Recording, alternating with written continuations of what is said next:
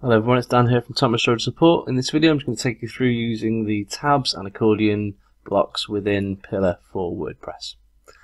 Okay, so to begin with I'm going to create a new page for the sake of the video.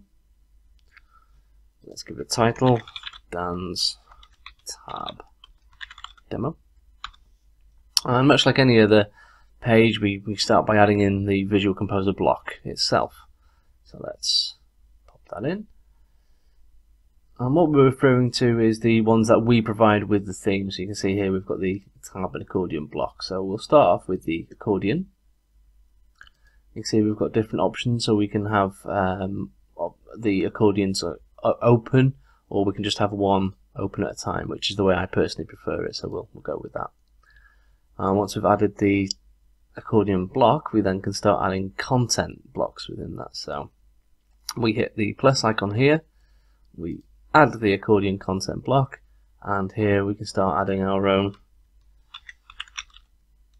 text etc so we'll give it a title. I'll grab some blurb. Hit save. And we'll take a look and see what that looks like.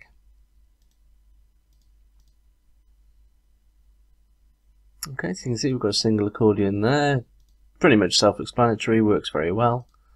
Uh, let me just quickly change the title type. There we go. So we'll, we'll continue adding to this. Um, with Visual Composer you do have a very handy little feature to just clone a previous block. So I will do that and just call this accordion 2. If you refresh the page, you can see that's how it all works there.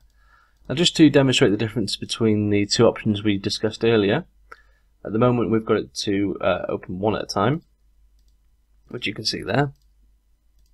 You can choose to have multiple open at any time, so although you'll be presented with the first one open, as users click others, rather than all of them closing by the one you just clicked on, you can have them all open if you wish.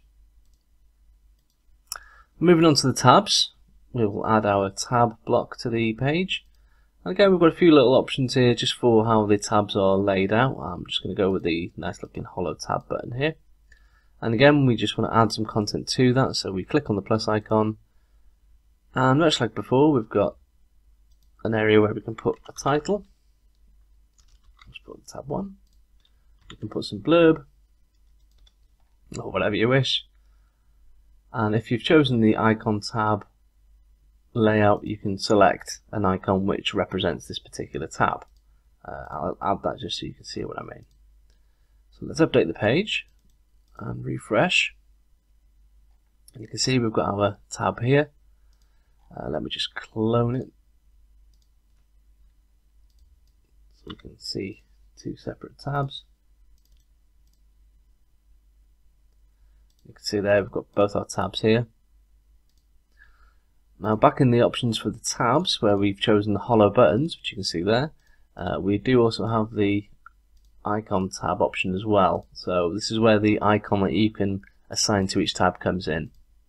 So you can see when we refresh the page, each one is being visualized by a particular icon of our choosing. So let's just really drive this home and I will use this.